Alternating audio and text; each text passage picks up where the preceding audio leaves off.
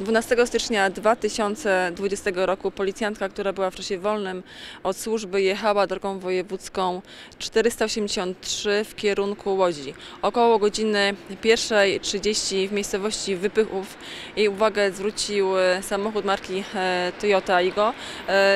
Samochód stał e, praktycznie w rowie przy zjeździe czy wjeździe do zjazdu gastronomicznego. Policjantka, która na co dzień pełni służbę w czwartym komisariacie Komendy Miejskiej Policji e, w Łodzi, postanowiła sprawdzić, co się stało, czy e, przypadkiem ktoś nie potrzebuje pomocy.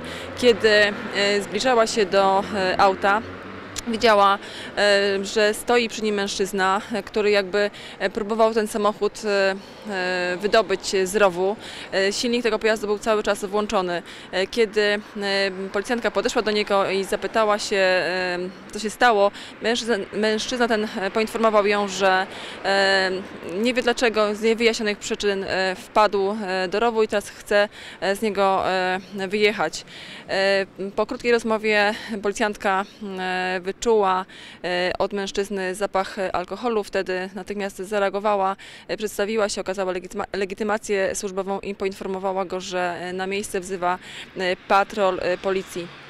Takiej sytuacji mężczyzna chciał odejść z miejsca e, zdarzenia, jednak policjantka natychmiast mu to udaremniła.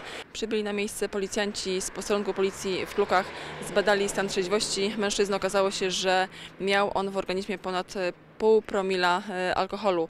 Mężczyzna ten stracił już prawo jazdy. Po wytrzeźwieniu w policyjnej celi usłyszał zarzuty kierowania autem w stanie nietrzeźwości. Teraz grozi mu kara do dwóch lat pozbawienia wolności, a jego dalszym losie zadecyduje sąd.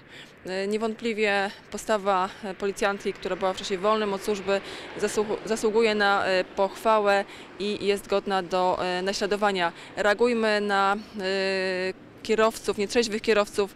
E, W każdym przypadku, kiedy mamy podejrzenie, że e, za kierownicą jedzie mm, nietrzeźwa osoba, e, informujmy o wszystkim policję. Być może takie, nasza, takie nasze zachowanie, taka nasza reakcja spowoduje, że wyeliminujemy z dróg potencjalnego zabójcę.